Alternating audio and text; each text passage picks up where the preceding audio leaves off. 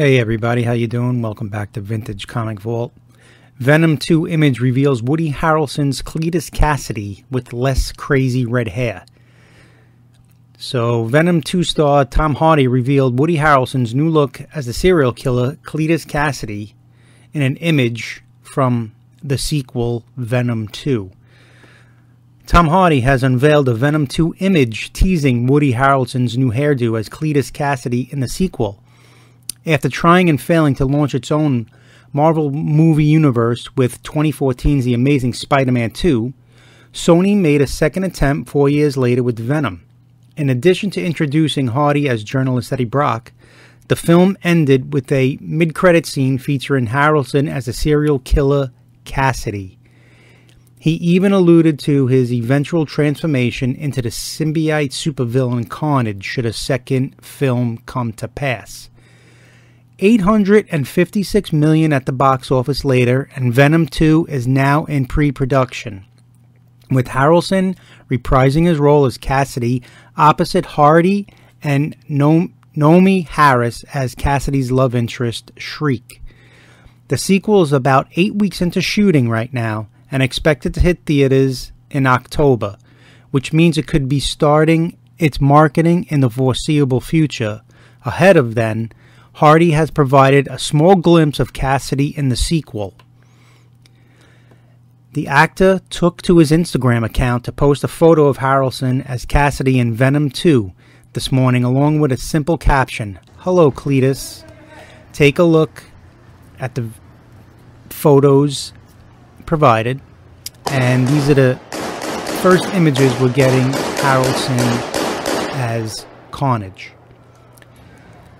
In the end of Venom, we saw Kasady was in prison during Venom's credit scene, so it's not surprising to see he cleans up a bit after breaking out in the sequel. It looks like Harrelson will have slightly less ridiculous hair, which may come as a disappointing news to those who loved his red wig from the first movie. Of course, fans are far more excited to see him transformed into Carnage, but there's no need to rush the reveal. The first Venom was criticized for having devious CGI so that it's all the more reason to hold off on unveiling the Carnage costume until it's finalized. That goes double for the first look at Shriek, aka Frances Louise Barrison, who's expected to have her comic book superpowers in the sequel, like the ability to manipulate sound and fly.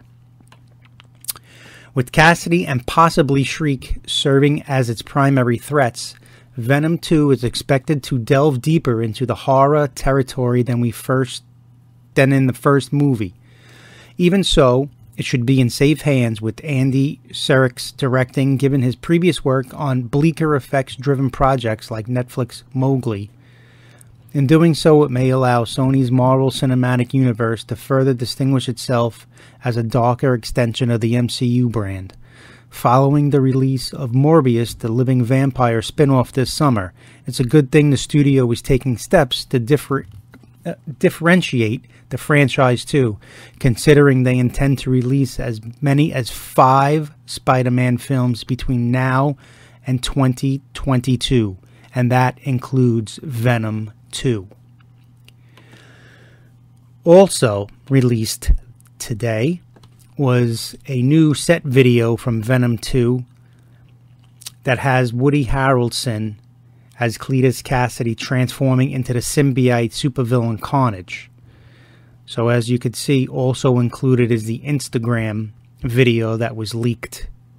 So, let me know what you think. Are you excited for Venom 2 and the introduction of Carnage and how that might affect the Spider Man movies and believe it or not, Morbius to come into the Spider Man universe?